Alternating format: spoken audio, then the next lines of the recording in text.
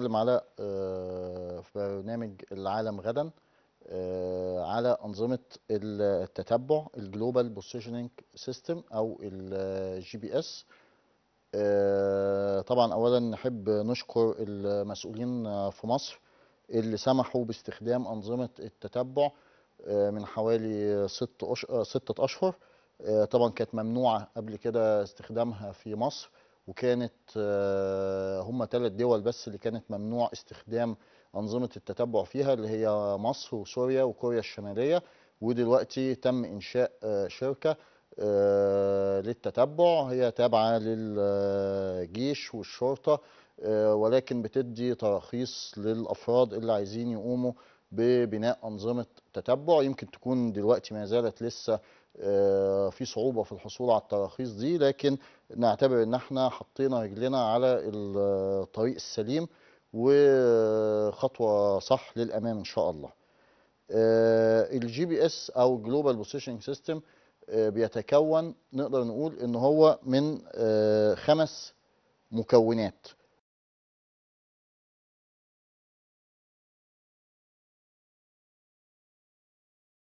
جهاز لل GPS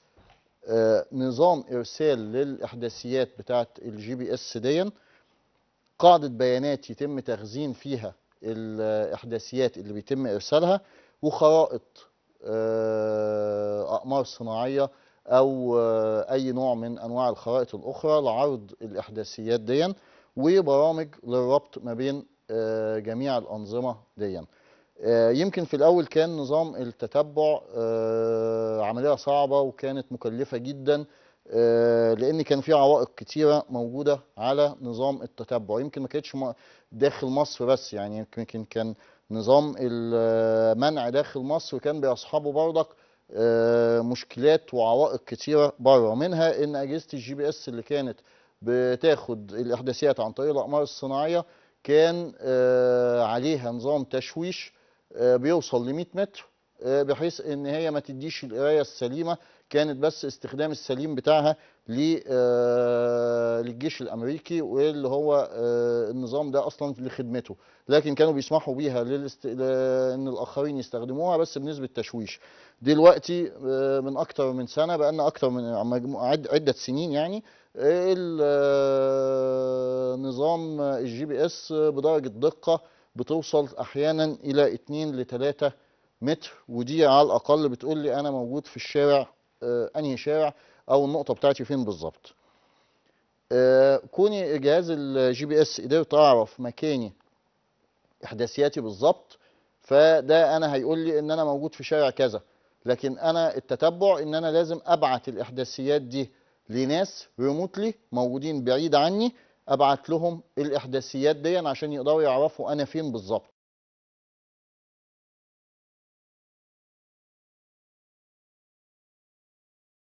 آه، طبعا كان عشان أبقى عندي نظام إرسال للإحداثيات آه، كل 10 ثواني أو كل 30 ثانية ده كان بيعتمد على إن يبقى عندي شبكة اتصالات مغطية جميع المناطق اللي أنا بشتغل فيها منظومة التتبع. طبعا ده ما اتحققش في مصر إلا في خلال الفترة الأخيرة إن بقى عندنا شبكة اتصالات آه، بتغطي تقريبا أغلب آه، مناطق الجمهورية. آه، كان العائق الثالث كان إن البيانات دي بعد ما بتتبعت عن طريق شبكة الاتصالات اللي هي الإحداثيات اللي إحنا جبناها بال GPS بنبعتها بمنظومة ال- الاتصالات. بشبكة الاتصالات ببعتها المفروض إنها بتتخزن في database على الإنترنت أو على ال server ودي طبعا كانت بتبقى مكلفة لأنها بتبقى آه، ملايين الإحداثيات مطلوب إنها تتخزن. طبعا دلوقتي مع العائق ده برضك إن إحنا في عصر ال cloud وعصر ال data المفتوحة والبيانات والتخزين على السيرفرات دلوقتي أصبح ما فيش أي مشكلة إن بأسعار رخيصة جدا نقدر نحصل على آه، مكان تخزين في الكلاود العالمي على الإنترنت. وكان يمكن أهم عائق إن أنا بعد ما جبت الإحداثيات دي عايز أشوفها على الخريطة. طب أنا عايز أشوف إحداثياتي دي يعني كده إن يبقى عندي خرائط مغطية جميع الجمهوريه طيب خرايط وكمان حديثة. مش بس عندي خرايط لأن ما تبقاش خرايط من الثلاثينات أو الأربعينات فمعناها إن أنا ببعت مساحين بيرفعوا الشوارع كلها ويجيبوا لي أساميها ويجيبوا لي المعالم اللي فيها بحيث إن بعد كده النقطة بتاعتي وهي بتتحرك على الخريطة بتبقى آه ظاهرة على خريطة حديثة. طبعا ده يمكن اتحلت مع وجود خرائط الأقمار الصناعية المجانية اللي متاحة دلوقتي في كل مكان على الانترنت فأصبح ممكن إن إحنا بنستغل حاجة زي كده في منظومة التتبع بتاعتنا.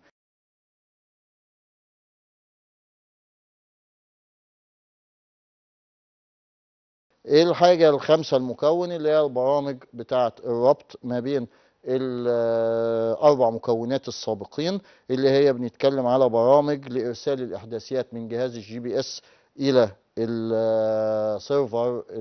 على الإنترنت وبرامج على ال server لاستقبال وتخزين الإحداثيات وبرامج أخرى لعرض الإحداثيات دي في الخرائط المناسبه وده يمكن دلوقتي في في مصر بالذات مجموعة كبيرة من كليات حاسبات والمبرمجين اللي اكتسبوا خبرة في المجال دون بحيث حتى إن بعضهم أصبح بيعمل بيشتغل مع شركات أجنبية واصبح يعتمد عليه. وفي طبعا كمان عندنا نقابة المبرمجين المصريين اللي أولت الموضوع دون يمكن عناية كبيرة وحاولت إن هي توجه كتير من المبرمجين ليه لأن إحنا معتقدين إن هو ده المستقبل بتاع البرمجيات اللي هي البرامج اللي بتعتمد على ال devices وال وال mobile devices وال GPS.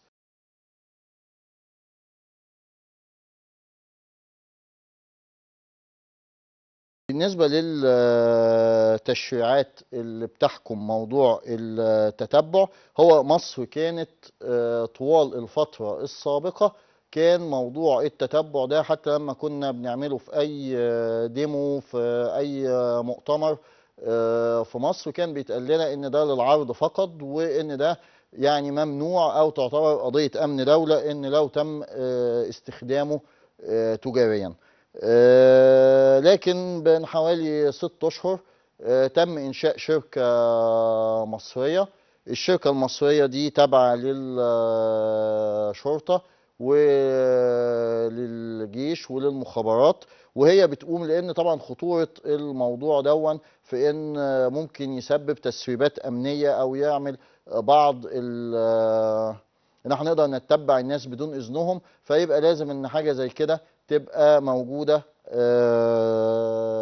من خلال جهة أمنية. وبدأت تمنح التراخيص. يمكن في صعوبة دلوقتي في منح التراخيص لكن أنا دايما لما بنيجي نتعامل مع الحاجات دي بنقول حتى لو إحنا كمبرمجين مثلا عندنا في نقابة المبرمجين في صعوبة إن إحنا كمجموعة أفراد إن إحنا نحصل على الترخيص أنا بقول أنا ممكن إن أنا بقدم خدماتي للجهة السيادية اللي هي عندها الترخيص بحيث إن إحنا بنبقى كاستشاري ليهم وبيبقى في الآخر المنتج بتاعهم هم اللي بيمتلكوا الترخيص. كأسلوب إن أنا بدعو أي مبرمج إنه ما يقفش عقبة عند موضوع التشريعات لا أنا ممكن إن أنا بنتج السوفت وير بتاعي وبقدمه للجهة السيادية اللي عندها الترخيص دي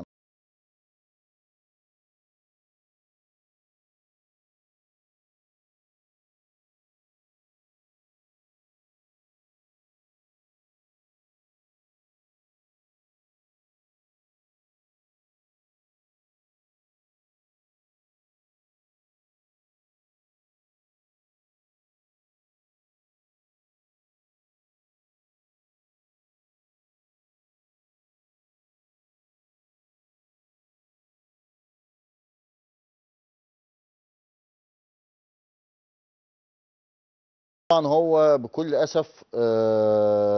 في خلال الفترة الحالية وللظروف الأمنية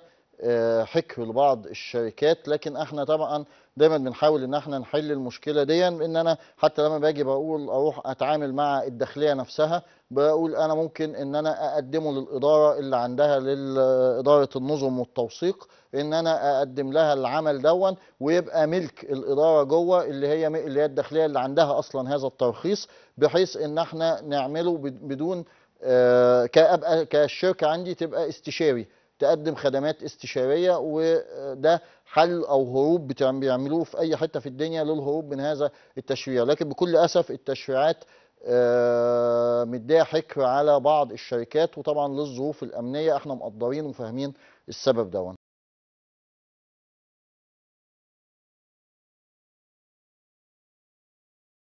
طبعا حاجة زي آه، بعض التكنولوجيا المتطورة جدا اللي بتستخدم في أعمال آه، المخابراتية آه، ويتم ممكن يتم زراعتها في جسم الإنسان نفسه أو في أحد الحاجات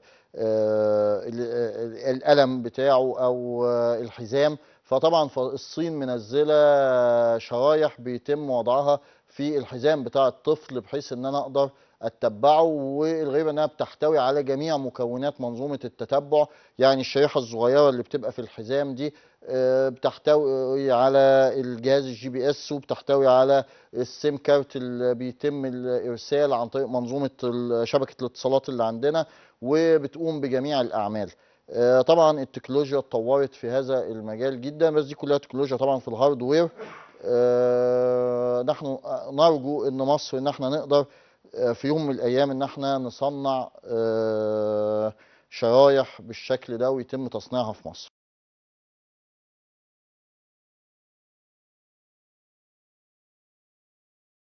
طبعا هو كان في دراسات عملها عملوها في البنك الدولي على استخدامات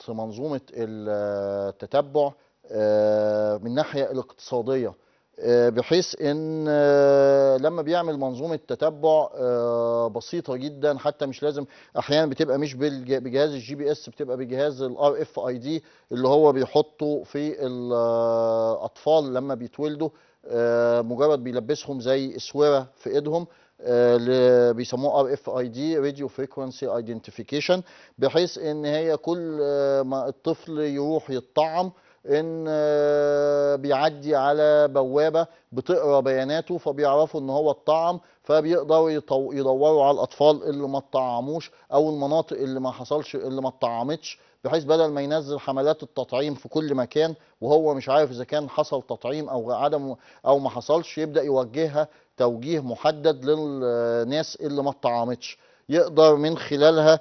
انه يقدر آه، يحط الخدمات زي المدارس والمستشفيات بحيث ان آه، لو أنا عايز اوصل آه، لأقرب مستشفى وأنا عندي الاحداثيات بتاعتي ان أنا في الطوارئ أقدر اوصل للمستشفى القريبة مني. طبعا مرتبطة برضك بان أنا مخزن عندي خرائط قوية فيها بيانات المستشفيات بالكامل بحيث ان أنا لو في حالة طوارئ وبتحرك في مكان أقدر أسأل آه، منظومة التتبع اللي معايا على أقرب مستشفى ليا فتوصلني آه، ليها. أقدر حتى من خلال منظومات التتبع إن هو بيقدر يعرف المزارع وأماكنها آه، عن طريق تحديد إحداثياتها يقدر يحدد المحاصيل الزراعية المناسبة ويقدر يحدد حتى لو حصل أي انفكشن أو إصابة بأي آه، مرض بيقدر إنه لما بتجيله بي- البلاغ بتاع إن المزرعه حصل فيها الإصابة بيبقى مرتبط ببيانات GPS إحداثيات ليها بيبعته آه، بحيث إنه بيقدر يشوف آه، أماكن انتشار المرض وسرعته وخط مسار انتشاره بحيث إنه بيشوف من كل مزرعة المزرعة اللي جنبها وبيقدر يحدد آه، إزاي يقدر يحاصر المرض دون. فمنظومة التتبع ما هياش مش برضك استخدامها حاجة للمجرد إن إحنا بس نعرف اماكننا ونشوف أولادنا فين أو نطمن عليهم. لا ده ممكن يبقى لها استخدام اقتصادي آه، في الدول النامية يساعدها آه، في تقليل تكلفة كتير من العمليات اللي بتتم آه، بمبالغ كبيرة بدون يعني لازم ان ممكن دلوقتي باستخدام ال GPS تقل التكلفة.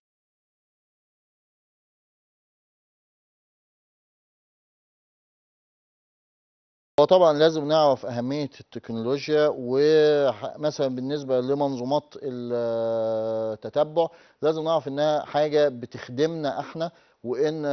في جميع بلاد العالم بيهتم ما بيعتبرهاش حاجة ضد خصوصيته. بيعتبرها حاجة إن هو يبقى يعدي من البوابة يتسجل إنه دخل آه، بمجرد ما يعدي من البوابة دي حاجة ما ما ما ما- بتاخدش خصوصيته. دي حاجة على العكس بتديله خدمة وبتديله آه، أمن إن هم يبقوا عارف إن تبقى الجهات ال- الإدارة والمسؤولية قادرة تقدر تحميه في المكان اللي هو فيه. لو هو مسافر في طريق ف- سفر إن هو يبقى عارف إن لو إن في شخص ما بيتابعه بيتابع جهاز ال GPS بتاعه بحيث العربية لو وقفت في الصحراء مده طويلة ممكن يتبعت له عربية تيجي تنقذه بدون ما هو ما يبعت آه، يستنجد. يعني حاجة زي كده هو آه، أعتقد إن لازم إن مجرد إن إحنا نحس إن في آه، شخص تاني آه، بيطمن عليا أو بيشوف أنا فين أو بيقدر يتابع معايا أنا بعمل إيه أعتقد إن دي حاجة مفيدة يعني ما هياش آه، نعتبرها إنها ضد الخصوصية على العكس آه، في كل بلاد العالم بيهتموا بيها.